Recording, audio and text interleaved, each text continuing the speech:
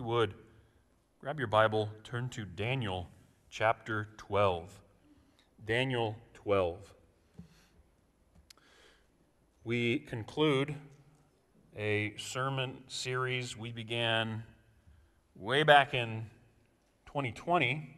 Not that we've been preaching the same series for three years now, but uh, we took a hiatus from it, circled back to it uh, several weeks ago, and we concluded today with a chapter that anticipates resurrection. Daniel chapter 12.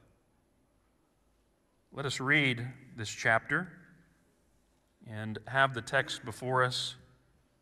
Hear now the word of the true and living God. At that time shall arise Michael, the great prince, who has charge of your people. And there shall be a time of trouble, such as never has been since there was a nation till that time. But at that time, your people shall be delivered, everyone whose name shall be found written in the book. And many of those who sleep in the dust of the earth shall awake, some to everlasting life, and some to shame and everlasting contempt. And those who are wise shall shine like the brightness of the sky above, and those who turn many to righteousness like the stars forever and ever. But you, Daniel, shut up the words and seal the book until the time of the end. Many shall run to and fro, and knowledge shall increase. Then I, Daniel, looked, and behold, two others stood, one on this bank of the stream, and one on that bank of the stream. And someone said to the man clothed in linen, who was above the waters of the stream, How long shall it be till the end of these wonders? And I heard the man clothed in linen, who was above the waters of the stream. He raised his right hand and his left hand toward heaven and swore by him who lives forever that it would be for a time, times, and half a time and that when the scattering and that and that when the scattering of the power of the holy people comes to an end all these things would be finished i heard but i did not understand then i said o oh, my lord what shall be the outcome of these things he said go your way daniel for the words are shut up and sealed until the time of the end Many shall purify themselves and make themselves white and be refined. But the wicked shall act wickedly, and none of the wicked shall understand, but those who are wise shall understand. And from the time that the regular burnt offering is taken away, and the abomination that makes desolate is set up, there shall be 1,290 days. Blessed is he who waits and arrives at the 1,335 days. But Go your way till the end, and you shall rest and shall stand in your allotted place at the end of the days. Let us pray. As always, Father, we are feeble, we are frail. Like Daniel, we hear, but we need understanding. We need Holy Spirit wisdom to grasp the things communicated here. And so, Father, we pray, help us this morning. In Jesus' name, amen. It's the wise man that I will remind you once said, Better is the end of a thing than its beginning. And so we come to the end of Daniel, which certainly holds out good news, even for us who live some uh, 2,500 years, over 2,500 years, after Daniel lived. The end of Daniel is concerned with the end. Specifically, contextually, verse 11, uh, chapter 11, verse 45 talks about his end. Verse 45 And he shall pitch his palatial tents between the sea and the glorious holy mountain, yet he shall come to his end with none to help him. And this angelic being who is speaking to Daniel continues right into chapter 12. It is part of the same context. And so the end has to do with the end of Antiochus Epiphanes IV. And if you weren't here last week, we had a little bit of a history lesson, because that's what Daniel chapter 11 is about. History that is yet to take place for Daniel, but which would be a, well, as is described here, a time of distress uh, so great, a time of trouble so great, it will have been like no other time with no other nation up to that point.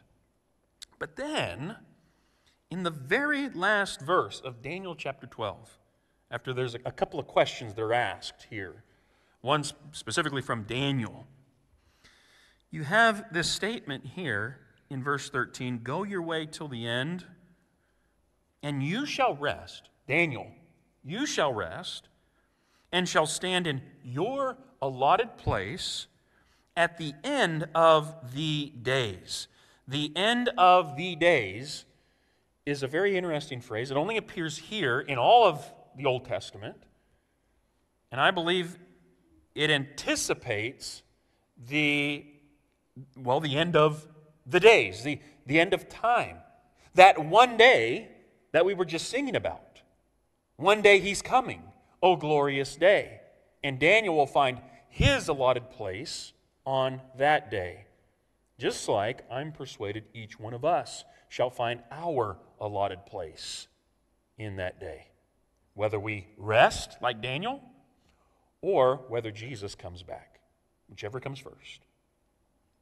This chapter, Daniel chapter 12, communicates that God rewards his faithful people. And it shows, I believe, here in Daniel 12, how God does that, which we, we will work through here. Uh, let's go back to verse 1. Daniel 12, as was mentioned, is related to the immediate context of Daniel chapter 11. And in fact, Daniel 12 is uh, concluding this prophetic message that we spent some time last week unpacking and all the history that was yet to come from even Daniel's day through the Persian Empire, the, the, the, Greek Empire, and into the days when that Greek Empire was divided, and the coming time in the mid second century BC when this really, really bad guy, Antiochus Epiphanes IV, would show up and just run roughshod over the Jewish people from about the year 169 to 163. And uh, we'll, we'll unpack that more because it, it is related here. You get a timestamp for how long these things are going to last. And, and we'll, we'll break that down in more detail shortly. But verse 1 you have a promise here of deliverance during a time of trouble. Uh, at that time shall arise Michael. Michael is here called the great prince who has charge of your people. Elsewhere in Scripture, he is Michael the archangel. And so we've talked about this before. There are different orders of angels, just like there seems to be somewhat of a hierarchy within the, the domain of darkness. Uh, that both uh, the good angels and the bad angels have their respective hierarchy in the spiritual realm. We don't have a lot of information about it, but there do seem to be angels, generally speaking, but then there are archangels. And Michael is an archangel. And he has charge over your people, Daniel's people, Daniel's people, that is, the people of Israel.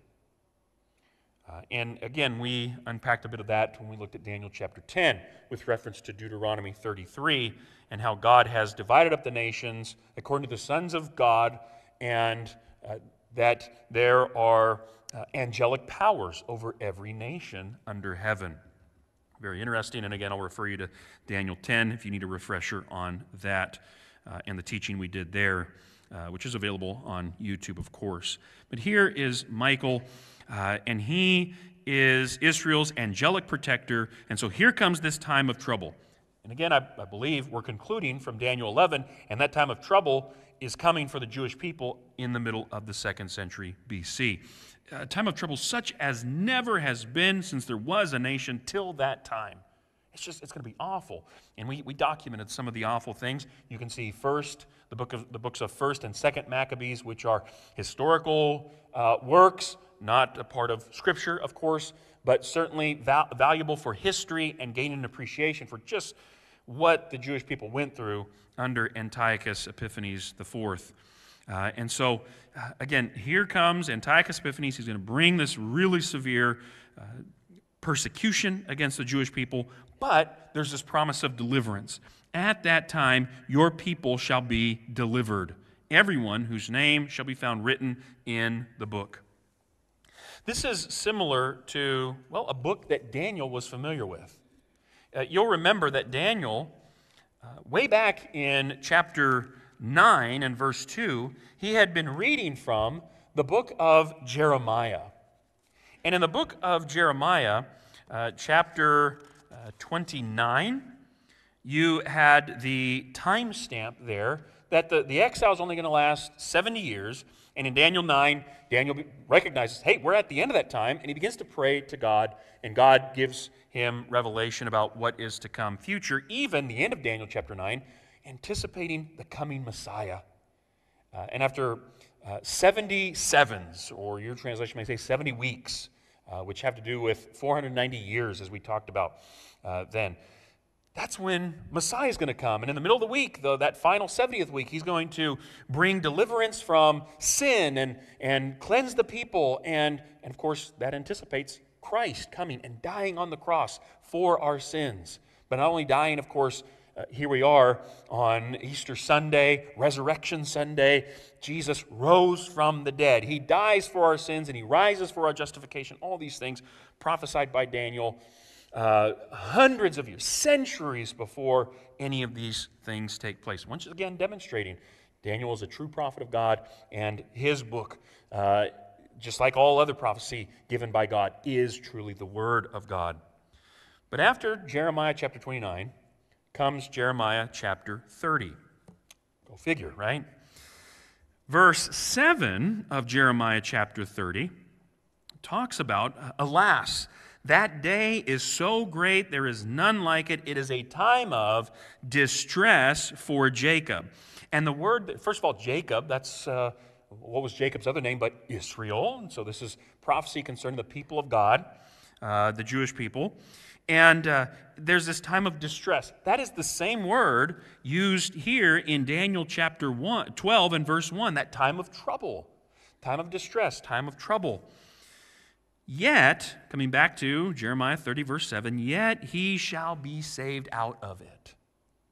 So, a time of distress with a promise of deliverance. The context for Jeremiah 30 has to do with the coming Babylonian captivity uh, and also the return from that captivity. We see this in verses 10 and 11 of Jeremiah 30. Then fear not, O Jacob, my servant, declares the Lord, nor be dismayed, O Israel, for behold, I will save you from far away, and your offspring from the land of their captivity. Jacob shall return and have quiet and ease, and none shall make him afraid. For I am with you to save you, declares Yahweh. I will make a full end of all the nations among whom I scattered you, but of you I will not make a full end. I will discipline you in just measure, and I will by no means leave you unpunished. And so I, I bring Jeremiah 30 and verse 7 up uh, because of Daniel 12 here, has a similar, uh, a similar feel to it. Similar language is used here, and it anticipates, again, the coming persecution of Antiochus Epiphanes IV, a very terrible time of trouble, but just like the captivity was a terrible time of trouble, there's promise of salvation, promise of delivery. And here is a similar thing terrible tribulation, terrible uh, persecution coming for the Jewish people, but God is going to save them. And he'll do it specifically by taking away this really, really bad leader, ruler, uh, again, Antiochus Epiphanes IV. Whatever violent oppression this uh, madman is going to bring against God's people, God says, I'm, I'm going to deliver you from that.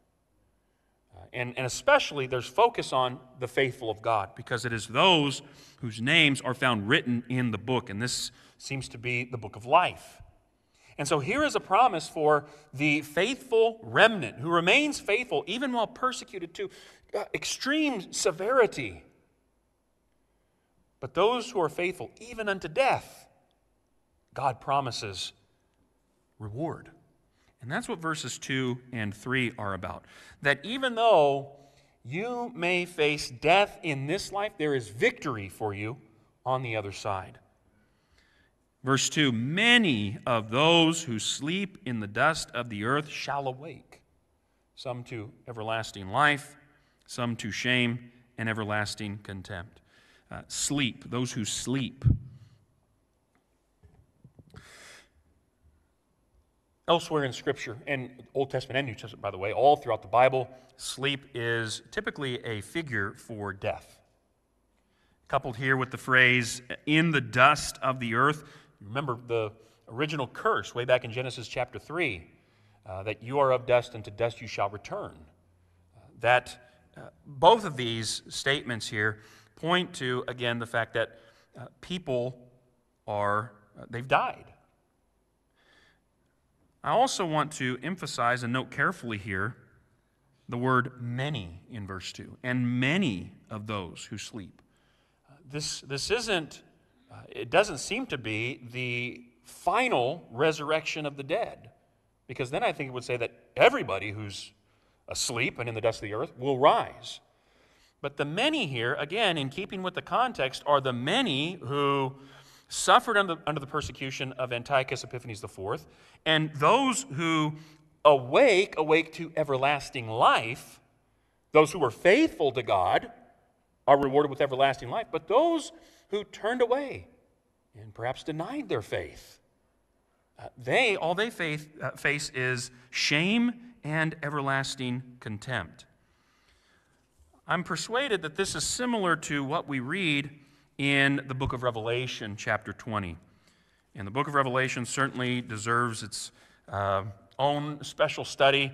Uh, perhaps sometime uh, in the future we'll get around to it. Uh, but uh, in the meantime, I just want to draw our attention here to Revelation 20, verses 4 through 6, because you have a very interesting state of affairs that arise here. Revelation 20, verse 4 Then I saw thrones, and seated on thrones uh, were those to whom the authority to judge was committed. I also saw the souls of those who had been beheaded for the testimony of Jesus and for the Word of God. And those who had not worshiped the beast or its image and had not received its mark on their foreheads or their hands.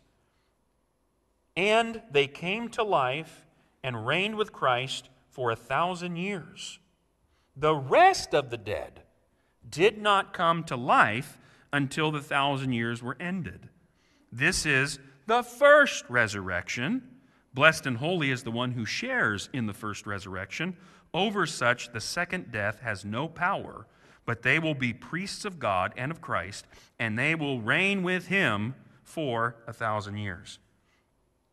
So you have this business of first resurrection, which implies a second resurrection, and that second resurrection appears to be the final resurrection of all, the, the rest of the dead, everybody.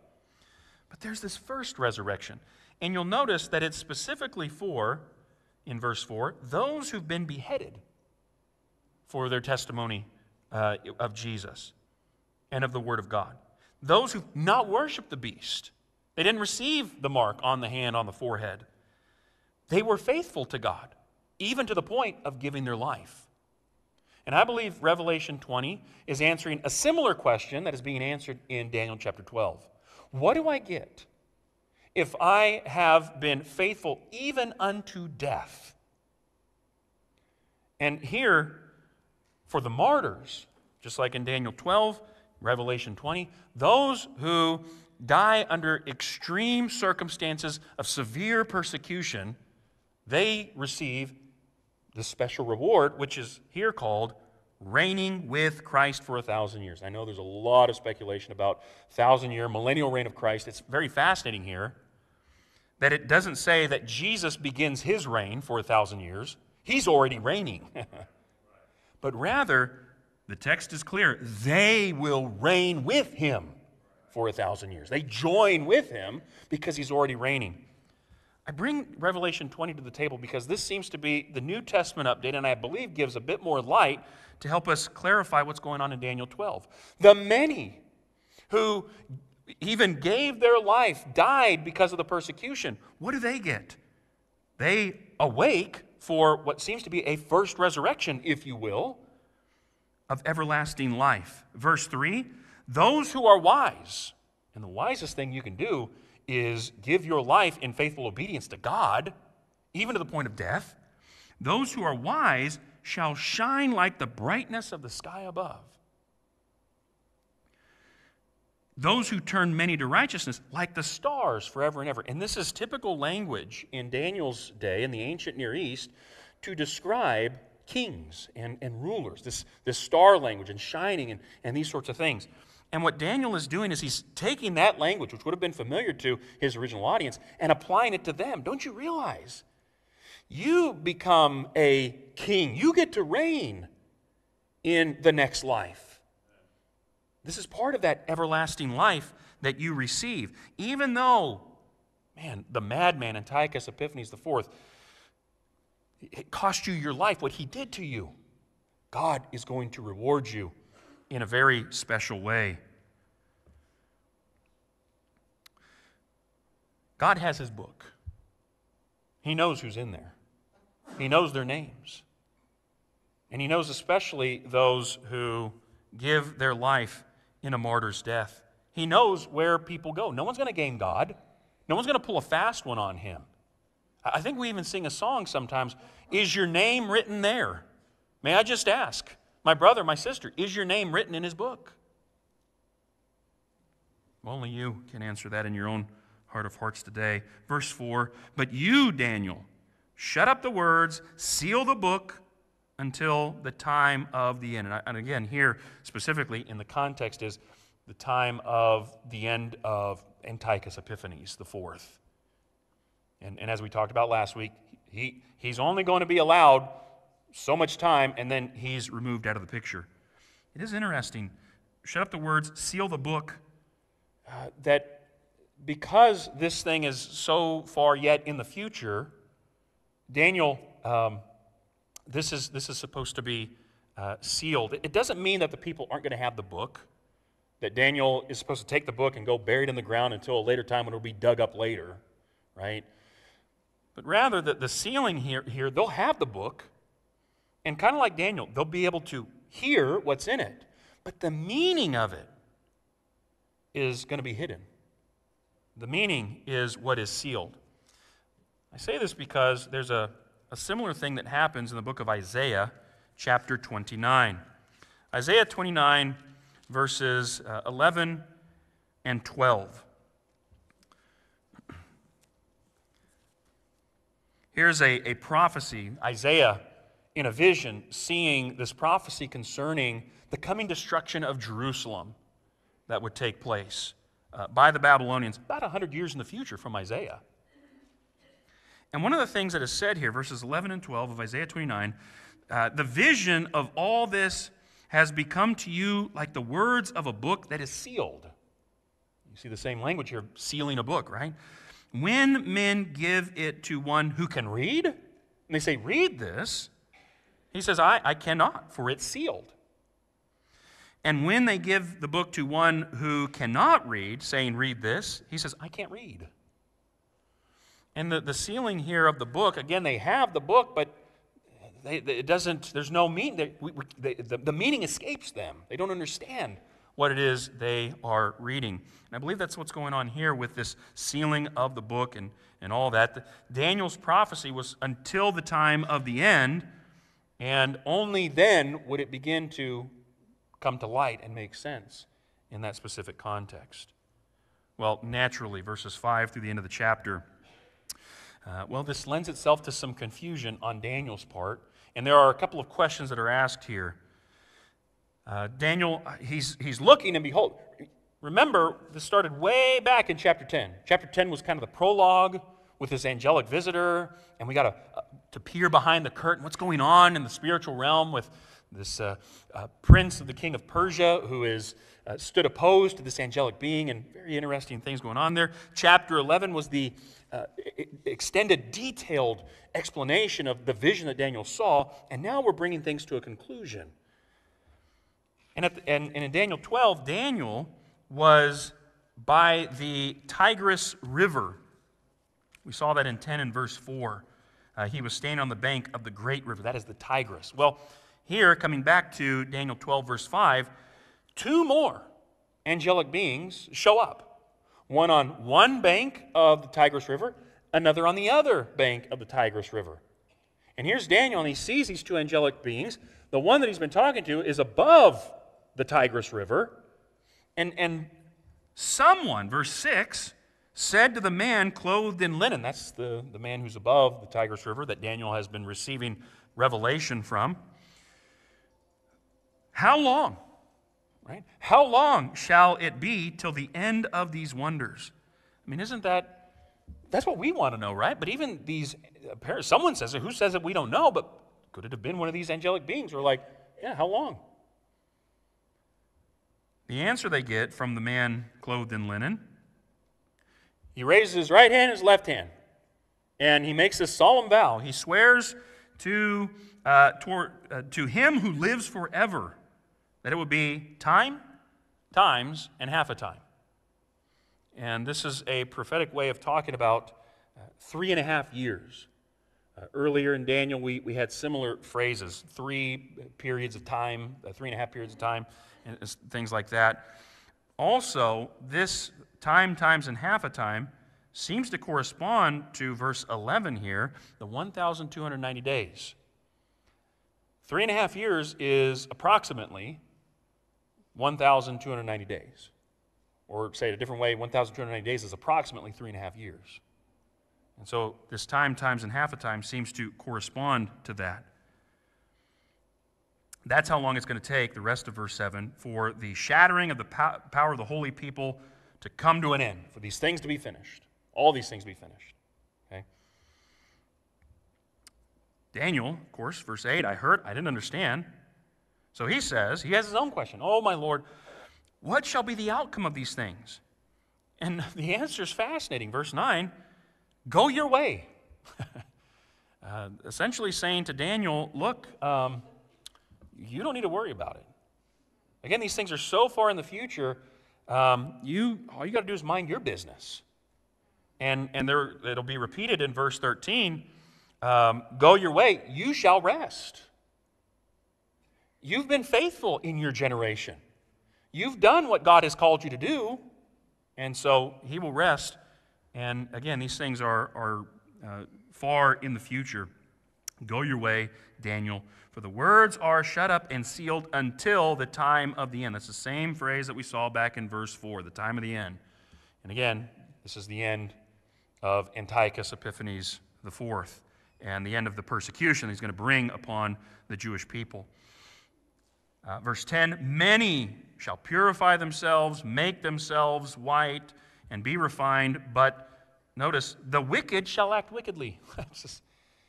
I mean, unbelievers acting like unbelievers. Can you believe it, right? I mean, that's heathen's going to heathe, right? Uh, that's essentially what uh, Daniel is told here. None of the wicked shall understand. Uh, and, and the wicked would certainly be unbelievers outside of Israel, but talking about the, the remnant not all of Israel is Israel. Even some in Israel, this is, they're going to be part of that. They're just, it's going to go over their head. They're not going to understand. But those who are wise, and again, uh, we've, we've seen um, uh, back in verse 1133 the wise among the people shall make many understand. Or shall we say, to borrow the language of Daniel 12, they'll turn many to righteousness. Okay? Uh, they'll, they'll go on their own evangelistic uh, outreach, as it were, during their day. Uh, yeah, these, these wise ones, they will understand. And from the time that the regular burnt offering is taken away and the abomination that makes desolate is set up, there shall be 1,290 days. Uh, blessed is he who waits and arrives at the 1,335 days. And so I do have uh, a slide here to show uh, charts, right? but I do believe, uh, again, we, we saw 2,300 days back in Daniel 8, uh, many, many moons ago, and that had to do with the entire persecution of Antiochus, starting way back uh, here in 169 BC, and it runs all the way to 163 BC. Okay? So you had that time stamp over there in Daniel 8. For more on this, by the way, again, I mentioned First Maccabees. Uh, there's a lot here in Maccabees. If you're interested in that, jot those references down. You can look them up later. What we're interested in is down here in Daniel uh, 12, 1,290 days, and then the 1,335 days. When Antiochus shows up, we talked about this last week. He was going to uh, desecrate the temple in Jerusalem. He was going to set up an altar to the false god, uh, Zeus, and he was going to offer a pig on the altar of God. Uh, this is what the abomination that causes desolation was all about in Daniel 11. Awful, awful stuff also done to the people of Israel.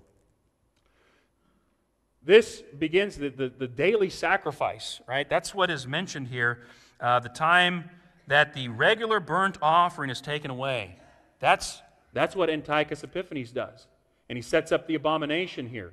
And so from this uh, time in the middle here uh, begins the countdown clock for when the sacrifices will be renewed. It does take, and again, you've got all these uh, uh, uh, references here 1,290 days, approximately three and a half years, the temple is desecrated. And it stands that way. But once Antiochus is removed, the abomination likewise is removed. You have all the, uh, the, the Maccabees doing their thing here as well. The abomination is removed. That's the end of the 1,290 days. Blessed is he who waits and arrives at the 1,335 days. It takes them 45 days to, from the removal of the abomination to the renewal of the sacrifices. And uh, all this to say, wow, right? You have the fulfillment in a very specific way of this prophecy that was given to Daniel in the 6th century BC. Stuff that there's no way Daniel could have even uh, anticipated. A kingdom has to fall, another kingdom has to rise, it has to be divided. This really bad guy shows up centuries after David is alive, excuse me, after Daniel is alive, and all the things that he would do in causing desolation and abomination within the temple, the specific number of days. Again, this kind of specificity in prophecy only comes because God has revealed history before it happens. You see, that's, as I mentioned last week, that's, that's what prophecy is, is God revealing history before it happens. Only God could know this. And he's the only one who graciously could have revealed it to Daniel centuries before it ever happens. By the way, this is part of the reason why I believe that the Bible is the Word of God. It is a reliable collection of historical documents written down by eyewitnesses during the lifetime of other eyewitnesses that report supernatural events in fulfillment of specific prophecy. And they claim to be divine rather than human. The last thing here, verse uh, 13. Take that out. There we go. What, what's Daniel supposed to do? Go your way. You go your way till the end, and you shall rest. And the rest here is, corresponds back to verse 2 the sleep. Okay? He's, he's going to die. He's an old man when he's receiving this. It's toward the end of the Babylonian captivity.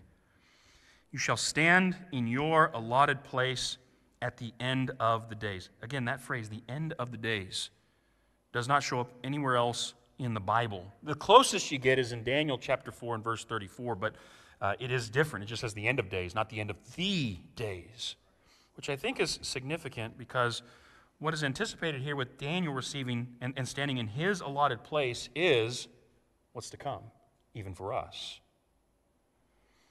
Daniel, he did go his way, and he has rested from his labors. But blessed are those who die in the Lord, for they rest from their labors. But also, we see he has his allotted place. And, and he'll receive his allotted place in the resurrection, just like we will receive our allotted place in the resurrection as well. Now, the only way that, whether we're talking first resurrection or second resurrection, is any kind of a reward, is because of the one whom Daniel has prophesied about more than once in his book. Way back in Daniel chapter 2, there was this kingdom that God was going to set up. And no other, it would, it would turn all other mountains to molehills. And in fact, it would crush them into dust. In Daniel chapter 7, there was this one like a son of man who presented himself to the Ancient of Days who receives dominion and an everlasting kingdom. And in Daniel chapter 9, we saw one who was going to show up in the middle of the 70th week who's going to do marvelous things for his people, yes, but of course we recognize it's for all flesh, all nations, Jews and Gentiles. In other words, the only way we can have our resurrection, first or second, is because of the one who was to come who would lay down his life for his people, but then also because the authority he had, take it up again in his resurrection.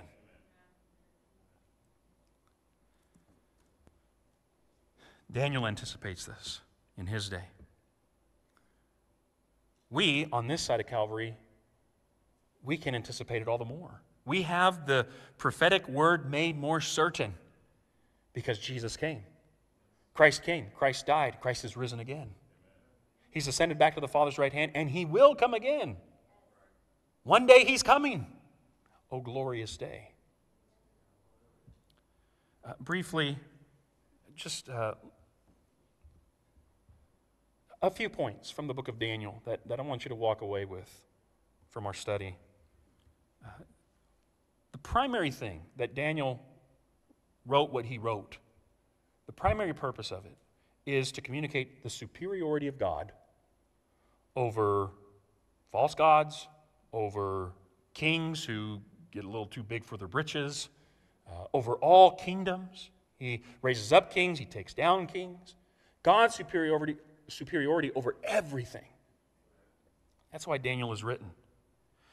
And one question that answers, uh, that, that the book of Daniel answers is if God is so powerful, and he's so big, and he's so great, and he's superior over everything, why is it that we, his people, are in captivity? And the answer is he's a covenant making God, and he's a covenant keeping God. He kept the covenant. His people, the fault was found in them. They did not keep covenant. And part of the covenant was that if the people did not keep covenant, I'm going to take you into captivity. He had promised it, he had warned them. To an even greater degree, a point of application for us, if I may. Our God, He's still a covenant making and a covenant keeping God. When you became a Christian, you made a covenant. And there are uh, blessings and curses attached to that. Blessings, everlasting life, even in Christ Jesus, if you remain faithful. But if you are a covenant breaker and you turn away and you trample underfoot the blood of the covenant, all that, it is a fearful thing to fall into the hands of a living God. Brothers and sisters, we need to take this soberly. Take the warning soberly from the book of Daniel. God is a covenant keeping God.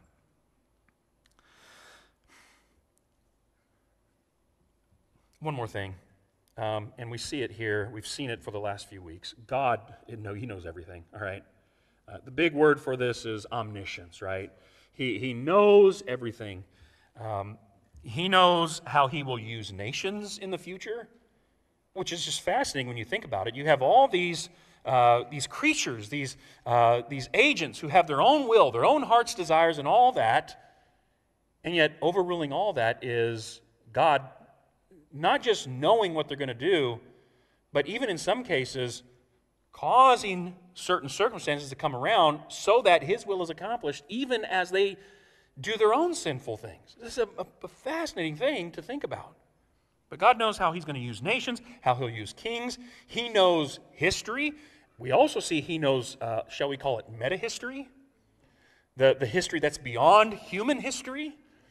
Uh, he, he knows what takes place and what is going to take place in the spiritual realm. I mean, the prince of the king of Persia is going to be taken away to make room for the prince of the king of Greece, right? That's happening in the spiritual realm, and God knows all that. Um, he knows the future, knows it with incredible detail. Only God could know the things that we've seen in the book of Daniel. He knows of coming conflict. He knows for Israel, they were going to be caught in the middle of the king of the north and the king of the south. And may I just say that whatever trials, troubles, tribulation may come our way, He knows that too. He knows it. And He also, ready?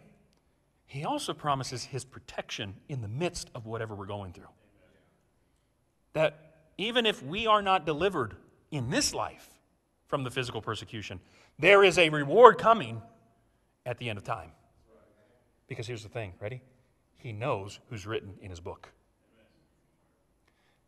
Your name, Prophet Isaiah talks about, your name was written on the hand of the suffering servant.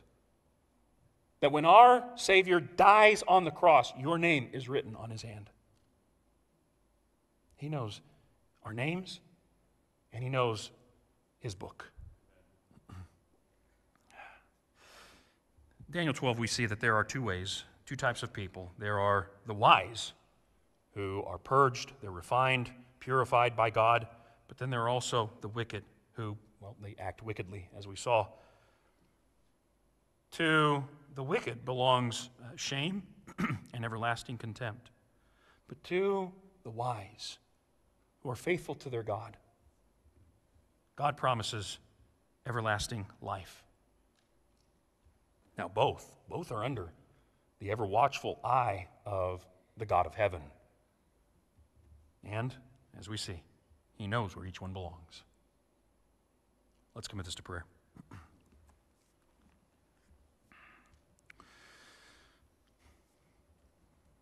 Father God, we were encouraged by Daniel, and we thank you for your word that does promise a greater reward. It promises uh, eternal life. That can be ours in Christ Jesus in the here and the now, but also a fuller and final realization of eternal life in the resurrection. And we also know that it is only because Christ was raised on our behalf that we have the promise of a resurrection unto life. Help us, Father, to be faithful to you, be faithful to Christ in all things. We pray all this in Jesus' name. Amen.